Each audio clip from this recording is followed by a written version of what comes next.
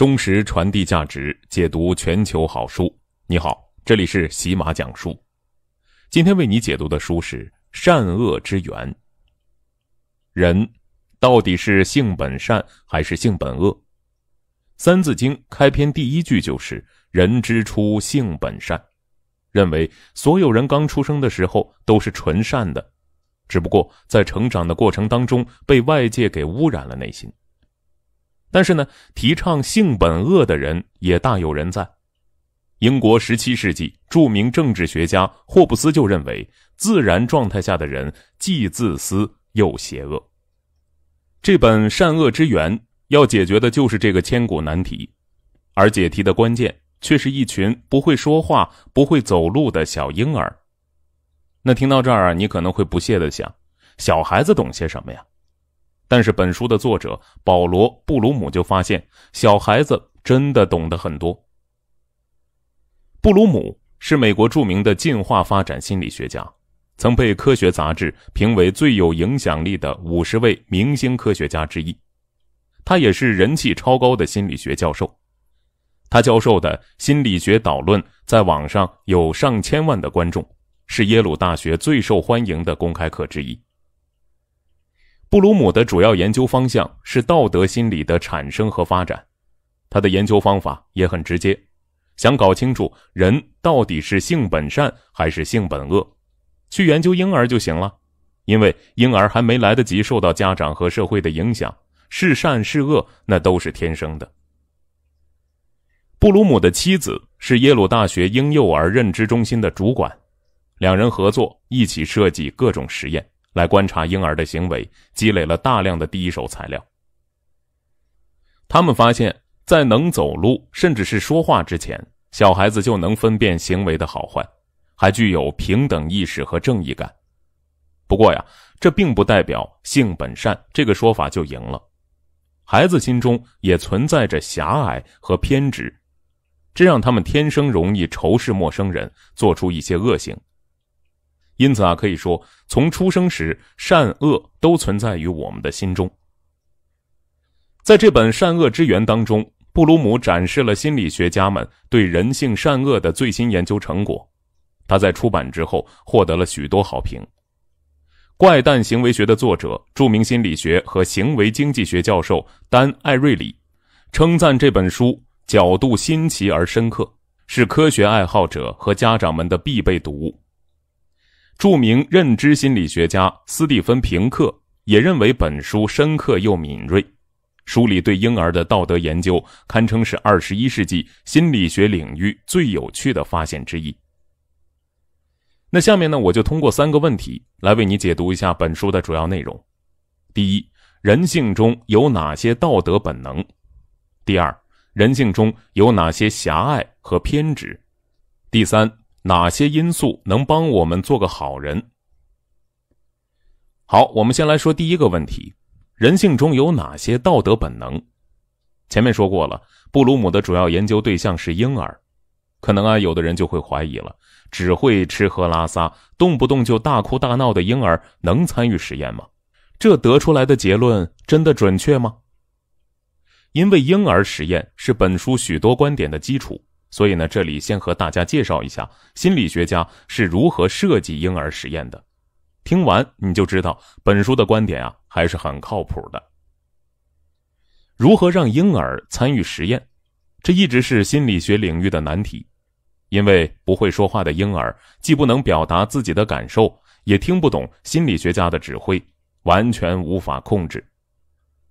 心理学家经过多年研究。终于发现，可以通过研究婴儿的注视时间来搞清楚婴儿在想什么。所谓注视时间，就是婴儿盯着一个东西的时间长短。它能告诉我们婴儿倾向于把注意力放在什么东西上。举个例子，如果想知道婴儿能不能分辨猫和狗，你可以反复给婴儿看一张猫的照片，他看腻了之后，注视照片的时间就会变短。这个时候呢，你再换成一张狗的照片，就会发现啊，婴儿精神一振，注视照片的时间明显变长。这就说明啊，在婴儿心中，狗和猫是不一样的东西。再比如说，婴儿越喜欢一个东西，自然注视时间就越长。那同理，如果什么东西会让婴儿意外或者感到威胁，他们也可能更长久的注视它。布鲁姆就是根据注视时间原理来设计各种实验。他发现孩子具备四种基本的道德本能。第一种道德本能是道德感，这里的道德感啊，不是说路见不平拔刀相助，而是指分辨善恶的判断力。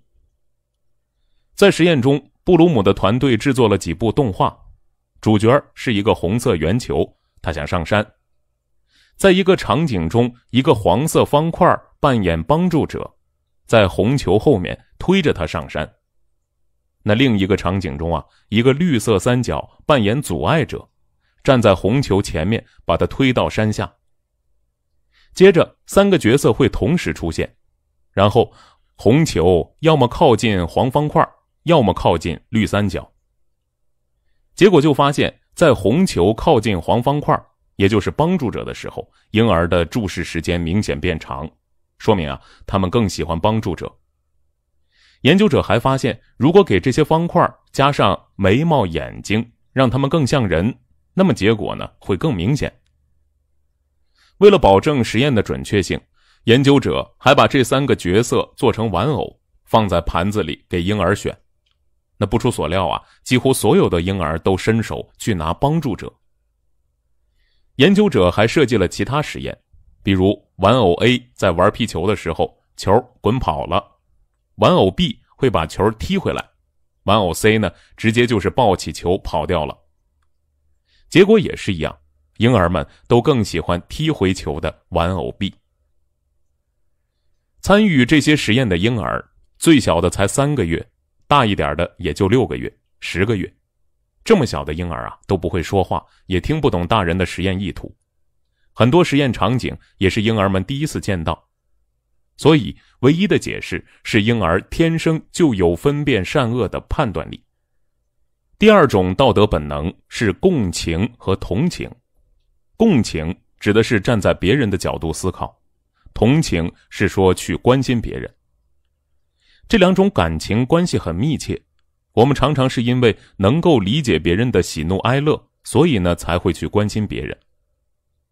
许多心理变态的犯罪者，他们的道德感完全正常，也知道扶老人过马路是对的，拿刀捅别人是错的，但他们最大的问题就是缺乏共情和同情的能力，无法感受别人的痛苦，不知道关心别人，所以会极度冷血，做出各种恶行。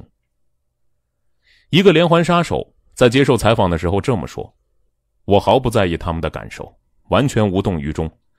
我知道我干的事儿大错特错，但是我仍然会毫不犹豫去做。”心理学家还发现，心理变态者对恐惧的表情特别不敏感，更不用说做出什么反应了。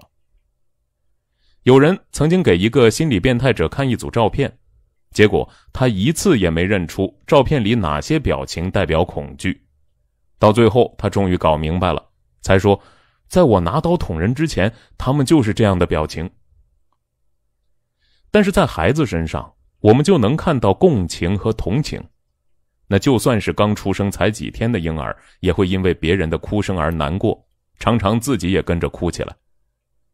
很多人会以为这是因为婴儿不喜欢噪音，所以用哭声表示抗议。但是研究就发现，相比听到自己的哭声，婴儿听到别人的哭声的时候啊，哭得更厉害。而如果给他听音量相同的噪音，或者是黑猩猩幼崽的哭声，婴儿也不会哭得这么厉害。所以合理的解释应该是婴儿感受到了别人的痛苦，因此才哭这么凶。著名生物学家达尔文也发现了孩子的共情能力。他发现自己的儿子威廉在六个月的时候就会因为看到保姆哭泣而流露出明显的忧伤，而当孩子产生了共情，他们就会去同情别人，主动的关心和安慰他人。比如很多一岁的孩子就已经会轻拍别人的背部，想让别人的心情变好。那此外啊，孩子还会主动的去帮助别人。心理学家发现，很多孩子会主动打扫房间，或者是在大人没提出任何要求的时候去帮忙开柜子、搬东西。可能呢，有的人就会想了，这也许是因为孩子希望得到大人的表扬，是一种很功利的行为，不能说是行善。但是心理学家就发现，至少对于三岁左右的孩子，他们这样做呀，确实是为了帮助别人。心理学家做了个实验，让一个大人请三岁的孩子拿件东西，但有时候这个要求会不符合逻辑，比如大人会说。请你帮我拿一只磕坏了的杯子，我要接水。大多数的时候，孩子会忽略这个不合理的请求，去另外找一个完好的杯子。这说明啊，他们并不是盲目服从，而是真心的想帮助别人。第三种道德本能是平等意识。这里说的平等意识，是指分配资源的时候尽可能做到平均。孩子的平等意识非常强烈。那这种意识并不是来自学校的教育，而是自发形成的。心理学家们找来一群十五个月大的幼儿，在他们面前展示两种分配过程：一个人会把糖果平均分配给两个人，而另一个人则会把糖果全部都给一个人。心理学家就发现啊，幼儿会对不公平分配的那个人表现出惊讶。这说明，在幼儿心中，不公平分配是不合常理的事情，超出了他们的预期。那对于再大点的孩子，这种意识就更强烈了，甚至很极端。那对他们来说，与其不平等，不如毁掉多出来的东西。研究者曾经给一群六到八岁的孩子出了一道题，说呀，马克和丹两个人都打扫了房间，现在呢要奖励他们两人。一共五块橡皮，每人分两块之后，还多出一块橡皮，应该给谁呢？那几乎所有的孩子都选择扔掉那块多出来的橡皮。那就算研究者告诉孩子们，马克和丹都不知道多出一块橡皮，所以不论给谁，另一方都不会不高兴。但是呢，孩子们依然选择扔掉橡皮。那这种对于平等的强烈要求。在所有年龄的孩子身上都有体现，他们都更喜欢那些平等分配资源的人。在给别人做分配的时候，他们也倾向于平等分配。这种崇尚公平的本能，对于建立一个平等的社会当然有好处。不过呢，孩子的平等主义也有局限性。经济学家们做过一个实验，他们给孩子两颗糖果，然后孩子可以选择。要么是自己留下这两颗，要么是把一颗送给没糖果的陌生人。结果就发现，参与实验的七八岁孩子当中，大概有一半的人选择了送糖果，而五六岁的孩子里，只有百分之二十的人选择送糖果，三四岁的就更低了。在其他类似的实验当中，研究人员把孩子们赠送糖果的对象从陌生人变成他们的朋友。结果呢，也依然如此。大多数孩子都选择了自己留下好处。可以看到啊，虽然孩子很追求平等，但当涉及到自己的利益的时候，这种平等主义也容易被自私的欲望淹没。第四种道德本能是正义感。正义感在现代社会的常见表现是第三方惩罚。也就是人们对没直接伤害自己的第三方主动进行惩罚。在网络时代，这种事情更是常见。比如之前有位男士在高铁上霸占座位，态度啊特别嚣张，说什么都不让座。这视频传到网上之后，激起了很大的民愤，大家纷纷批评这位男士，希望铁路部门对他进行惩罚。那这种正义感的来源是什么呢？对于这个问题，心理学家们有两种不同的解释。一种解释认为，这是人类社会优胜劣汰的结果。人类是群体性动物，想要社会正常运转，最好的情况就是每个人都遵纪守法。但肯定会有一些人自私自利，破坏规则。那如果不对这些人进行惩罚，结果就是更多的人为了自己的利益去伤害别人。长此以往，整个社会都会瓦解。而那些拥有第三方惩罚机制的群体，就能保证民众的团结，在竞争中也更有优势。于是，这种行为就一代代遗传了下来。另一种解释认为，第三方惩罚的来源是共情。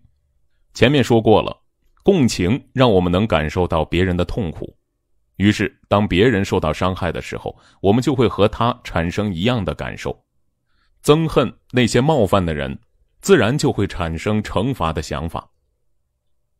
第三方惩罚不仅在大人中很常见，在孩子中啊也存在。常见的表现形式就是打小报告。研究就发现了，两岁到六岁的孩子提到同伴的时候，大部分都在讨论同伴的违规行为，而且这些小报告的内容基本都真实准确，并没有瞎编乱造的成分。另一项实验也发现，就算是八个月大的婴儿，也已经有了惩罚的概念，他们更喜欢那些惩罚坏人的角色，而不是对坏人友善的角色。好。那说到这里呢，我们总结一下第一部分的观点。心理学家们发现，在婴儿的心中天生就存在四种道德本能，分别是能区分好坏的道德感，能感受他人痛苦并关心他人的共情和同情，在资源分配上的平等意识，以及惩罚坏人的正义感。那说完了人性中善的一面，下面的第二个问题，我们来说说人性中恶的一面。书中主要是讲了两种常见的恶劣行为，分别是群体偏好和厌恶感。我们呢，先说群体偏好。群体偏好是说呀，人们会区别对待别人，我们会下意识的根据性别、种族或语言，把遇见的人分成熟悉的人和不熟悉的人两类，并对前者有好感，对后者有敌意。这种偏好也是天生就有。前面说过，婴儿对喜欢的人注视时间会更久。布鲁姆的团队就发现，那些由女性照料的婴儿注视女性的时间会更长，而由男性照料的婴儿注视男性的时间会更长。这个结论呢，还能推广到种族上，黑人婴儿会更喜欢黑人的脸，而不是白人的脸；中国婴儿会更喜欢中国人的脸，而不是非洲人的脸。另一些实验也显示，儿童往往更喜欢同种族的伙伴，认为他们更有可能是好人。这听起来啊，很有种族歧视的味道。不过呢，心理学家们之后就发现，孩子们对种族的偏见，本质上是对自己熟悉事物的喜好。那些更喜欢同种族的儿童，往往来自单一种族的学校，比如全是白人的学校。如果被调查的学生来自种族多元的学校，他们就没有什么种族偏好，但是会根据其他方面的差异区别对待同伴比如白人更愿意和本地口音的黑人玩，而不愿和外地口音的白人玩。心理学家就认为，群体偏好来自对结盟的需求。人类啊是群体性动物，不同的群体之间经常会发生冲突。如果我们能在冲突前就把身边的人划分成盟友和敌人，就可以团结盟友战胜敌人。这种习惯从原始部落一直延续到今天。种族只是划分群体的依据之一，我们还会根据性别、语言甚至衣着来划分群体。这种心理特点会让我们仅仅因为群体不同就对陌生人抱有敌意。这种心态。有一句成语概括的很到位，叫“非我族类，其心必异”。只要你和我不是一伙的，那你肯定是坏人。心理学上有个著名实验，就是验证这个观点的。心理学家穆扎弗·谢利夫安排了二十二名美国五年级学生参加夏令营，他们都是来自中产阶级的白人男孩，各方面的差异都很小。男孩们被随机分成了两组。一组叫响尾蛇队，另一组叫老鹰队。谢里夫先让两组男孩不见面，独立在营地里度过一周。很自然的，男孩们都把同组成员看作伙伴。那到了第二周，研究人员安排两组男孩接触，谢里夫就发现，一名男孩在听到另一组的动静之后，虽然根本没看到对方，就已经喊他们是来露营的黑鬼。研究人员随后安排两组队伍进行比赛，两组成员之间的敌意啊是越来越浓。虽然都是白人，他们却用种族侮辱的脏话骂对方，还拒绝一起在食堂吃饭，并各自制作了旗帜表示差异。后面冲突越闹越大。甚至到了焚烧旗帜、破坏房间的地步。仅仅是随机的分配，就能让人们互相对立，相信对方是坏的，自己是好的。这种想法很容易造成各种冲突。从中世纪的宗教战争到纳粹的种族屠杀，背后都有群体偏好在煽动仇恨。那下面呢，我们再来说一说人性中的另一层恶——厌恶感。这里的厌恶感指的是生理上对某个东西的反感。厌恶感是罪恶行为的强大动力，它和共情刚好相反，让我们对别人的痛苦无动于衷。于是呢，我想让大家讨厌什么人，方法有很多。比如说，我可以散播谣言，说他以前伤害过别人，还蹲过监狱。但最方便有效的方法，就是让大家对他产生生理上的厌恶感。我只要告诉人们说他身上有多脏，气味有多难闻，马上就能激发厌恶感，让大家主动躲得他远远的。比喻的方法也很管用，比如纳粹就把犹太人称呼为“可憎的寄生虫”，浑身上下都是黏糊糊的液体。许多人呢还会把自己的仇恨对象比作老鼠和蟑螂。我们可以通过理性思考去接受种族、宗教或者性格等方面的差异，但是生理上的反感却能让我们直接放弃思考。用布鲁姆的话说，人们可能会爱上杀人犯，但不会爱上严重口臭的人。只要他一张嘴，我们立刻就会打心底里讨厌他。心理学家就发现，厌恶感是自然选择的产物。每个婴儿成长到一定阶段，就算没有任何人教，也会对一些东西产生厌恶感，比如粪便和呕吐物。那么，厌恶感到底有什么用呢？答案就是，厌恶感会阻止我们吃不干净的东西，保持我们的健康。有许多证据能够证明这种观点，比如说，我们厌恶某人时的表情，跟闻到恶心的东西的时候的动作啊很像，都类似干呕。所以呢，厌恶感和呕吐一样，都会阻止我们吞下食物。心理学家认为，厌恶感很可能就是从呕吐发展过来的。另外，厌恶感也会让我们没有食欲。而当人们看到令人反感的图片的时候，大脑中处理气味和味道的部分就会特别活跃。厌恶感可以提高我们的生存率，不至于吃了不干净的东西生病。但是，当厌恶感的对象变成人的时候，就会引发道德问题。厌恶感会让我们反感他人，认为他们缺乏人性，于是就更容易鄙视甚至攻击他们。那说到这里呢，我们总结一下第二部分的观点：人性中的群体偏好让我们区别对待别人，把人们分成熟悉的好人和陌生的坏人这两大类。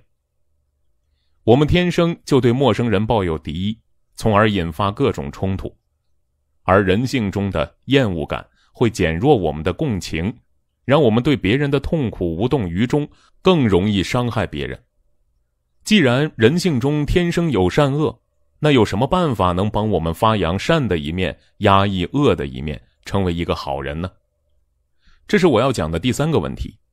布鲁姆认为，人类社会中有四种因素可以帮助我们做一个道德高尚的人。第一种因素是习俗。古希腊哲学家亚里士多德说过：“善良之人的特征就是他们把善行变成了无意识的习惯。”日常生活中，我们看到老人会让座，看到别人搬东西会帮把手。做这些事儿的时候，我们有先进行思考吗？不一定。很多时候呢，是习惯成自然的条件反射，在思考之前，身体就已经行动了。这就是习俗的力量。当一个好人，并不需要深刻的道德动机，只要父母能够提供良好的成长环境，让孩子耳濡目染各种好人好事儿他自然就会模仿这些行为。心理学家曾让六到十一岁的孩子观看别人的慈善行为，比如给穷人捐钱，结果发现，当孩子们自己捐的时候，他们看到的人捐的越多，他们自己也捐的越多。研究还发现，成年人亲身实践的榜样力量对孩子的影响远大于口头教育。第二种因素是不断扩张的道德圈这里的道德圈是指我们关心的人的范围。这个说法呢，来自历史学家威廉·莱基。莱基认为，随着一个人的成长，他的道德圈就会越来越大。一开始，人们的道德圈只限制在家里，只会关心亲人；之后呢，道德圈会渐渐扩张到朋友、同事，甚至是不认识的陌生人。于是，人们就愿意对更多的人表达善意。那么，哪些因素会扩张道德圈呢？很重要的一个因素就是个人接触。我们和别人接触的越多，就越能消除偏见，去看到对方和自己的共同点，道德圈自然就会扩大。比如那些种族多元的学校里的孩子，因为经常和不同种族的人一起玩，就不太会产生种族偏见。不会把其他种族放到自己道德圈的外边。另一个重要因素是听故事，故事可以帮助人们产生共情，把别人看成和自己平等的人。心理学家们就发现，印度农村开始普及有线电视之后，不仅去上学的女性更多了，连家庭暴力也减少了。他们认为这和电视剧的影响密不可分。因为电视剧的剧情传达的都是男女平等的价值观，这在潜移默化中改变了当地人的道德圈大小。